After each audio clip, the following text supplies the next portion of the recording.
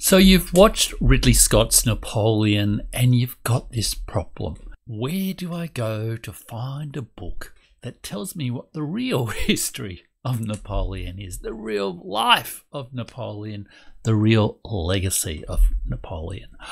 Where do I go to find that? I had this problem myself. I watched the film and I could sense that something was not quite right, but I hadn't read a biography of Napoleon.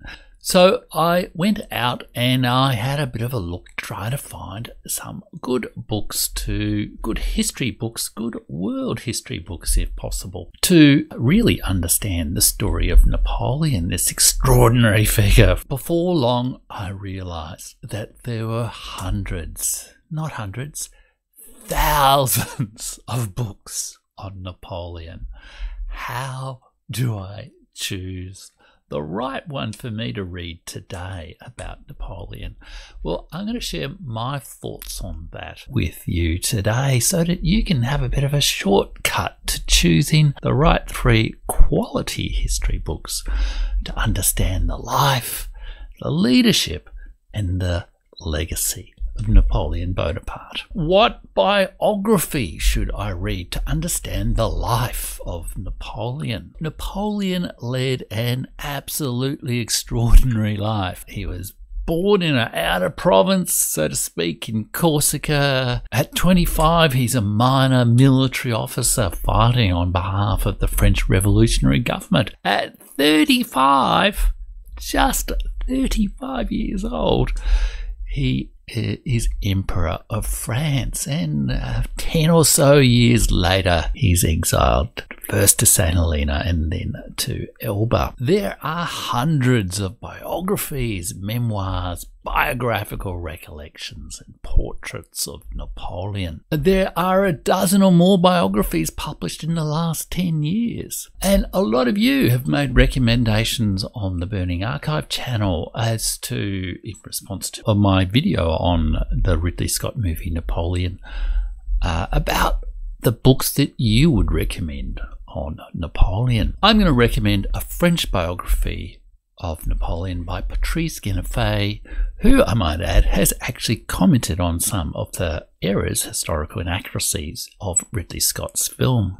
Gueniffey's biography was hailed as a masterwork when it was published in France in uh, 2014 or 2015. And it has since been translated into English in 2020, and I read it online through uh, public library. Uh, Patrice has been working on this biography since 2004, so it's a lifetime's work. He published the first volume of two in 2014, 2015, and I hope the second volume will come soon. The first volume takes us up to Napoleon in 1802. It traces Napoleon Bonaparte's early childhood in Corsica, his rise during the Revolutionary Wars, including the scenes in Egypt portrayed in Ridley Scott's uh, uh, film Napoleon, and takes us to his uh, proclamation as consul for life, soon to be emperor in 1802. He paints a full, nuanced portrait of Napoleon, and in a way, he tries to resurrect the art of writing biographies of Napoleon, which at least he claims had fallen a bit out of fashion in the French historical tradition in recent decades. It is a work of serious scholarship,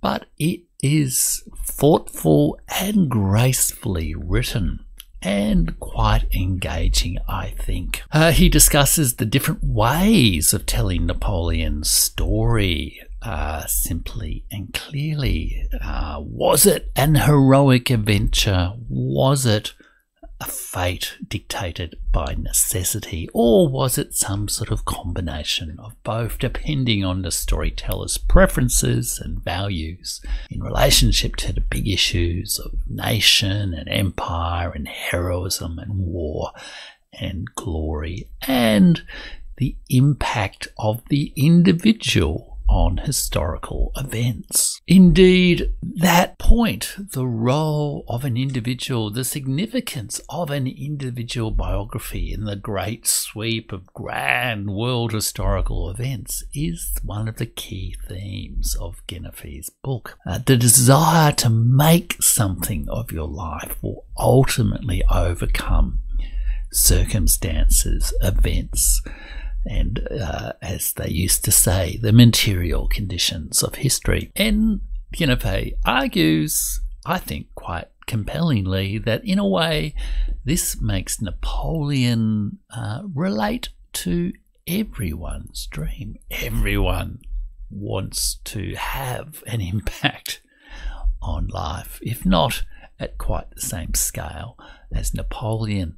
Gueniffey writes, Napoleon is a figure of the modern individual. That is the subject of this book. Uh, now, I'm only part way through this wonderful book, but it's absolutely on my reading list, my history book reading list plan for 2024. But I do recommend it, uh, and it's also good to get a French perspective. The second book relates to Napoleon as a leader, his leadership. And Napoleon was without doubt a leader. People felt this at the time. Some admired his leadership. For example, the German poet, author, dictator, great intellectual Goethe said that Napoleon was in a state of permanent enlightenment. On the other hand, some people despised Napoleon's leadership. Madame de Stael, who is worthy of a video all by herself, uh, wrote after Napoleon's death that Napoleon was a condottiere, like a mercenary soldier from the Italian Renaissance, a condottiere without manners, without fatherland, without morality, an oriental despot, a new Attila, a warrior who knew only how to corrupt and annihilate. Not the most pleasant portrait of him and employing a few tropes about uh, the Mongol horde. As Andrew Roberts wrote, uh, there is a constant debate within the books on Napoleon as to whether Napoleon was a destroyer or an architect, a liberator or a tyrant, a statesman or an adventurer. And indeed, I could have suggested Andrew Roberts' book, uh, Napoleon the Great, uh, on Napoleon's leadership style. He makes the case that Napoleon really was great, but uh, the title kind of gave away the story. Philip Dwyer's Citizen Emperor, Napoleon in Power, 1799 to 1815, also provides a detailed, packed with detailed portrait of this aspect of Napoleon's leadership. Uh, but again, it is not the easiest read. So, the book I will recommend, I actually found at the local library, and it is William Nester Napoleon and the Art of Leadership how a Flawed Genius Changed the History of Europe and the World. May not be the most famous book on Napoleon, but it takes an interesting angle, which I think a lot of viewers uh, who are interested in the figure of Napoleon as a role model, perhaps rather than good or bad, rather than as a uh, like as a history buff, may well relate to. Nester is an American professor of government and politics, and he explicitly looks at how Napoleon led people in both war and politics. It is an intriguing book, and I jumped to the conclusion and got to uh, his overall assessment. I haven't read it all yet, but I am again planning to in 2024. And the overall assessment is that the genius side of Napoleon dominated really uh, his career until uh, maybe 1807 the high point, perhaps, of his power, uh, where he concluded with uh, Russia the Treaty of Tilsit, uh, which is actually portrayed in Ridley Scott's film. It's the scene where Napoleon is talking to Tsar Alexander from Russia in a kind of a kind of a tent sort of um, room in a marsh in Tilsit where there's lots of mosquitoes. After that point, Napoleon overreached. He uh, overreached in the size of his empire. He attacked both Spain and Russia. He created what uh, uh, Nester describes using international relations literature as a security dilemma by posing such a threat to other countries that all the other countries started to gang up against him. And most of all, he ultimately overestimated his abilities to control the problems, the fate, and the events of the world.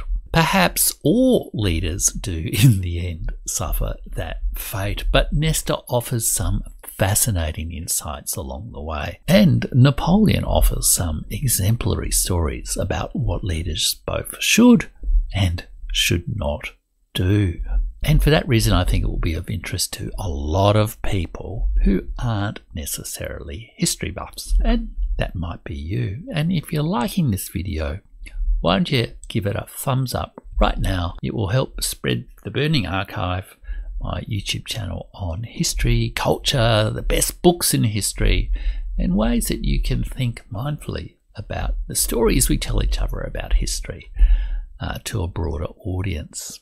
I'd love it if you did that right now. The third and final book I'm going to cover in this video uh, relates to Napoleon's legacy.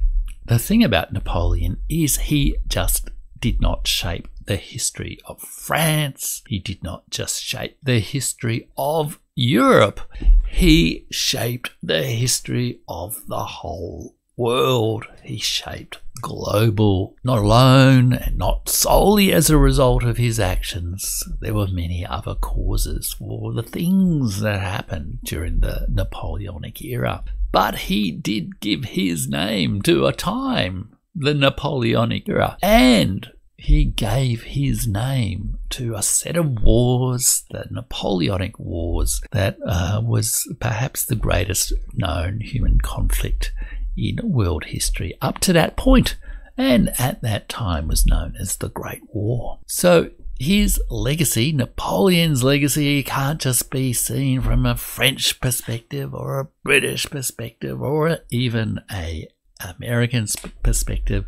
It needs to be seen in a much bigger world history perspective. And there is a great book by Alexander Mika Mikaberidze the Napoleonic Wars, A Global History, which was published in 2020. That does exactly that. And if I just read from uh, this fine book, he notes that though provoked by the rivalries within Europe, the Napoleonic Wars involved worldwide struggles for colonies and trade, and in scale, reach, and intensity, they represent one of the largest conflicts in history. In his efforts to achieve French hegemony, Napoleon indirectly became the architect of independent South America, reshaped the Middle East, strengthened British imperial ambitions, and Britain was just about everywhere, including dear old Australia, and contributed to the rise of American power. As well as the well known conflicts in Waterloo or Austerlitz, there were decisive events in Napoleon's career, in Napoleon's legacy in Buenos Aires, in New Orleans, in Queenston Heights, in Rouge, in Aslandos, Assab, Macau, Oreville, and Alexandria. Among the impacts of Napoleon's legacy highlighted in this excellent book uh, are the consolidation of the British Empire in India, Russian expansion in Finland, Poland, and the Pacific Northeast, the competition between three European empires in North America, French Canada, French America. The author points out that uh, the Louisiana Purchase in the early 1800s uh, which was negotiated by Napoleon with the new uh, 13 colonies of the United States of America, doubled the extent of the United States. It was an enormous step, I guess, in the history of, the, of America. And it also gave that country, that new fledgling country, a much greater resource base and capacity to resist the British when again they fought in 1812. There was also the Caribbean Haitian Rebellion uh, the largest of the Atlantic slave revolts. There was the occupation of Spain in 1808, which led to the disintegration of the Spanish Empire in South America. It had impacts on the Philippines and also in the development of new liberal political institutions uh, in Europe and in the Americas. And there were also upheavals in Iran, emulating Napoleon in Iran and Egypt. South Africa, Japan, China, and Indonesia were also affected by the Napoleonic Wars. This was not just some European squabble, it had global historical significance. And the author writes that the Napoleonic Wars were above all a European conflict, but they shaped Europe's relationship with the rest of the world. This conflict both compelled and encouraged European states to undergo a painful process of reform and modernisation, which changed the balance of forces between different parts of the globe. It was a crucial set of events in that great hinge of history between 1800 and 1830 when the West rose to dominate the world. Napoleon, as much as the Industrial Revolution or, or, or Anglo American political traditions, uh, is a central player in the story of the West. This is really a brilliant, brilliant book. Uh, you can buy it online uh, or at good bookshops, or you can read it for free uh, at a public library like I did. Now, all these books are long, uh, they're all serious works of scholarship, but they're all also readable. There is quite a bit of argument and detail, but you don't have to read them all to grasp the essential concepts, to grasp the lines of the story. Uh, read as much as you like to answer your curiosity, but these three books Patrice Gueniffey's, Napoleon, William Nester, Napoleon and the Art of Leadership, and Alexander Mikaberidze, The Napoleonic Wars, A Global History, will satisfy your curiosity about Napoleon in a way that Ridley Scott failed to do. And what is more, as a special bonus, I've provided links in the description below to some YouTube uh, video appearances of these authors so you can get a bit of a taste for their books. Uh, independent of me, get a bit of a feel for the type of arguments that they present in their books, if, especially if you can't get immediate access to any of these books. But before you go, make sure you subscribe if you're at all curious about what I will share with you next about world history, quality books, and the cultures of the world. And you might even want to check out one of the other videos of mine that YouTube is sharing with you now.